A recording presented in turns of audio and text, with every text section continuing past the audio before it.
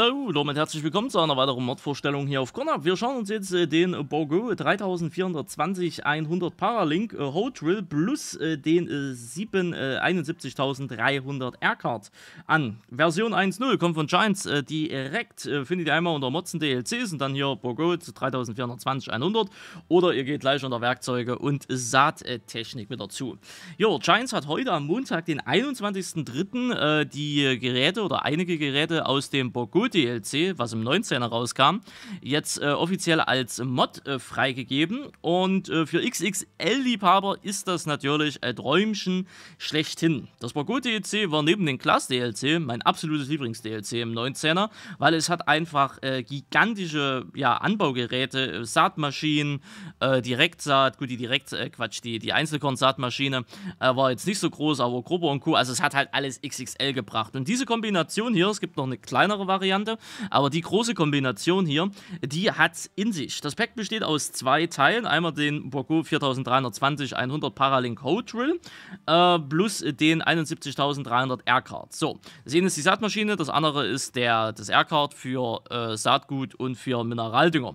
Ihr seht auch schon an den Preisen, das hat ein Bill in sich, 430.500 für die Saatmaschine plus äh, 331.500 Euro für den R-Card. Beides wird allerdings benötigt, weil äh, sonst könnt ihr damit nicht arbeiten. Ne? Also klar, der R-Card kann ohne die Saatmaschine nicht, und die Saatmaschine ohne den R-Card nicht. Soweit so klar. Schauen wir uns die Saatmaschine mal an. Ihr könnt natürlich konfigurationstechnisch hier nichts einstellen. Wir haben 32 Tonnen Gewicht, ne? das ist schon mal eine Ansage, 600 PS empfohlene Leistung, eine Arbeitsbreite von unglaublichen 30,5 Metern bei einer Arbeitsgeschwindigkeit von 18 km/h. Das ist eine Wucht. Wie gesagt, 430.500 in der Anschaffung, 21.955 im Leasing. Einstellen könnt ihr nicht.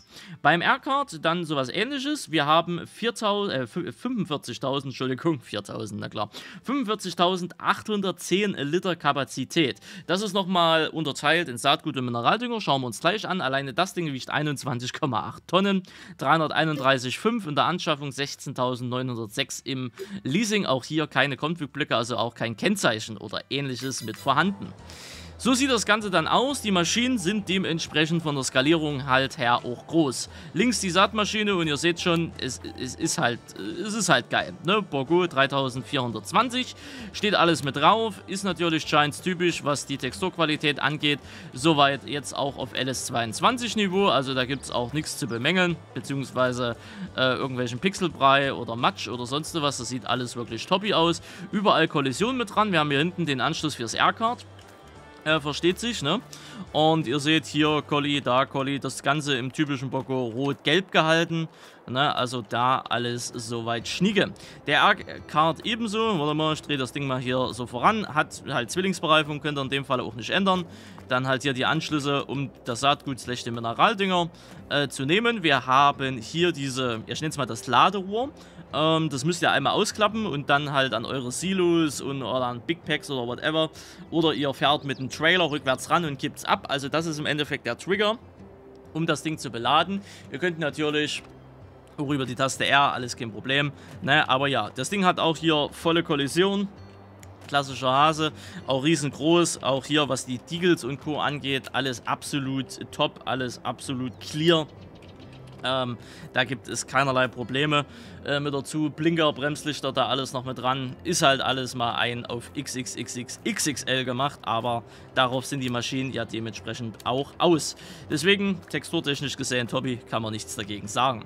So, ich habe das Ding hier schon mal ready gemacht. Ihr seht, ich habe jetzt hier einen, einen Steiger 620 äh, vorne mit dran. Das Ding hat fast 700 PS, also 692 müsste das ungefähr haben. Und die Leistung braucht ihr auch. Glaubt mir, ihr kommt ansonsten A, weder auf die Arbeitsgeschwindigkeit, auf die maximale und B ist das Fahrthandling dann, also selbst mit 500 PS, das ist schon nicht mehr geil zu fahren. Ne? Ihr braucht hier wirklich Leistung, Leistung, Leistung, Leistung. Ähm, bevor wir uns auf die Details gucken, erstmal hier, ihr seht dynamische Kabelschläuche, alles mit dabei, auch wenn ich das Ganze hier hinten verbinde. Ihr seht, das ist alles sauber, so wie es halt dementsprechend auch sein soll. Der R-Card äh, selber seht ihr hier hinten, hat äh, 25.550 Liter Saatgut, 20.260 Liter äh, äh, Mineraldünger. Ne? Das ist natürlich eine komische Angabe, ist aber glaube ich wieder von, von den Amis übernommen. Ne? Und die haben ja ein anderes System wie wir. Äh, deswegen vielleicht da wieder die runden Zahlen oder komischen Zahlen. War aber im Vorgänger, glaube ich, genauso. Nun, wenn ihr mit den Dingen arbeiten wollt, relativ simpel. Erstmal hinten noch zum, zum R-Card. Ähm, das ist äh, hier über die Taste N normal steuerbar. Na, ihr seht, das Ding fährt dann hier einmal aus. Dann macht es einmal das Ganze hier oben auf. Ne? Da haben wir hinten Saatgut. Und dann haben wir hier dementsprechend den Mineraldünger. Und dann könnt ihr das Ganze hier mit einer nochmals Betätigung der Endtaste wieder zusammenklicken. Ansonsten, das Ding klappt sich hier vorne halt ganz sauber auf, zieht sich dann auch so ein bisschen voran. Ne, und 30 Meter müssen natürlich auch irgendwo hin. Deswegen solltet ihr immer darauf achten, wenn ihr das Ding aufklappt, dass ihr genug Platz links und rechts habt. Das Ding ist eine Direktsaatmaschine, das heißt kein Grubbern oder äh, Dings vorher notwendig. Ansonsten kannst du die klassischen äh, Teile zum Ansehen. Also Weizen, Gerste, Hafer, Raps, Sojabohnen, Sorghum, Hirse, Ölrettich, Gras. Das ist alles kein Problem. So, dann fahren wir jetzt einmal hier ran. Ja, ihr seht schon, der, selbst der Steiger hat hier ein bisschen damit zu kämpfen. Ansonsten einmal die Taste V drücken, einmal B und dann äh, feuchtfröhlichen äh, Spaß damit haben.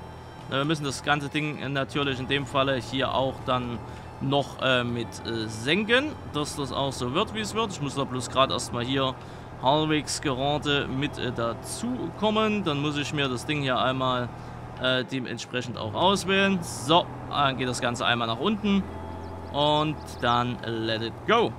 Und ihr seht, das funktioniert soweit. Einmal die Direktsaat kein Problem. Ihr seht selbst die Geschwindigkeit müssen wir hier erst aufbauen. Also wir sind nicht sofort auf Highspeed hier mit drauf. Ihr seht aber, wir kommen jetzt hier auf die 18 äh, km/h. Langsam aber sicher.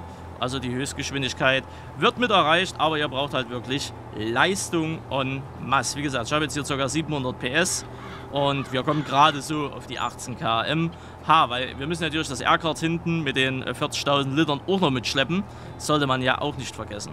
Aber hier könnt ihr natürlich äh, Meter damit machen. Ne? Das, äh, das steht ganz außen vor. Und das ist natürlich, wenn ihr auf XXL-Karten unterwegs seid, auf der Wild West oder auf der NF Marsch oder whatever, da ist das natürlich äh, Bombe. Obwohl die NF Marsch könnte schon fast wieder ein bisschen zu klein sein. Aber ne, das äh, ist dann ja euch überlassen. Da hat euch ja keiner reinzureden. Das ist ja eure individuelle Entscheidung. Ja, Top-Teil. Ähm, wie gesagt, aus dem Borgul DLC war das äh, mit einer meiner Lieblingsmaschine hier. Und deswegen habe ich mir gedacht, stelle ich sie euch mal vor. Der Rest ist natürlich auch noch im Mod-Hub zu finden. Müsst ihr einmal gucken. Ne? Ja, äh, ansonsten, Thema Log ist sauber. Wir reden hier circa von 55 MB. Das ist eine ganze Menge. Aber gut, dafür sieht es halt dementsprechend auch gut aus. Nun, Download-Link inklusive Bewertung, wie immer in der Videobeschreibung mit verlinkt. Ich danke fürs Zuschauen. Wir sehen uns dann im nächsten Video wieder, wenn ihr mögt. Lasst ein Däumchen Abo da, wenn es euch gefallen hat. Und bis dann, haut rein. Tschüssikowski. Tschüss, tschüss.